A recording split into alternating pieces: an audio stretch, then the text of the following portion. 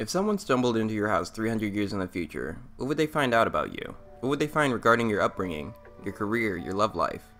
In fact, what will become of the Earth? Some distant memory has a take on this. It's an exploration game by the small team at Galvanic Games. Now, have they succeeded in making this dystopian take on our future feel compelling? Let's take a look.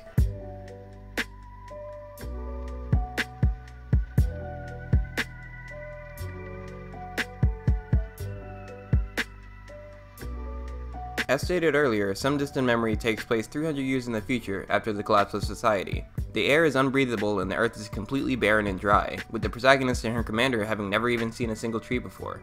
Even from that short description, you can probably guess what caused the earth to collapse. After a brief tutorial, our protagonist Zay falls into a pit that she can't get out of. The pit turns out to be next to a house, and from then on your mission is to find your way out. In the meantime though, why not scan their 300 year old belongings and figure out who they were? The meat of the narrative is told through scanning the interactable items in each room and then having your scanner robot, Aurora, recreate a memory in that room. It could be because I played the entirety of the story late at night, but I really enjoyed looking around this house and watching all of the memories.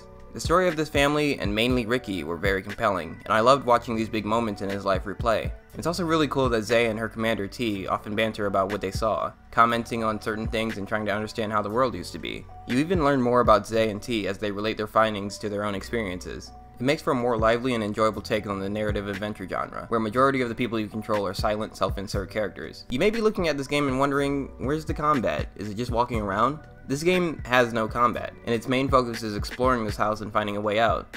And I think not having combat encounters works very well to the game's benefit. The game is only about 3 hours long and it would have felt like unnecessary padding to include anything more than what they have here. Some Distant Memory knows what it wants to be, and I can appreciate a game that doesn't overreach with its vision. Some Distant Memory is a game that doesn't try too hard to push the boundaries of a narrative adventure game, but it succeeds on every level of what it wants to be. Its storytelling is beautiful, and the underlying message and focus show that there was a lot of thought and care put into its writing. Be sure to look out for Some Distant Memory when it hits Steam and the Switch later this year, because this little game has a lot of heart.